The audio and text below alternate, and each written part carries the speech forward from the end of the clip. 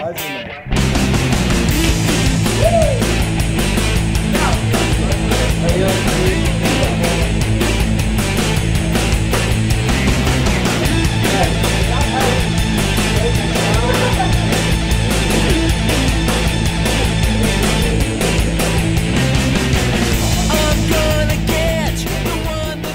What's the attitude going into this season for you individually?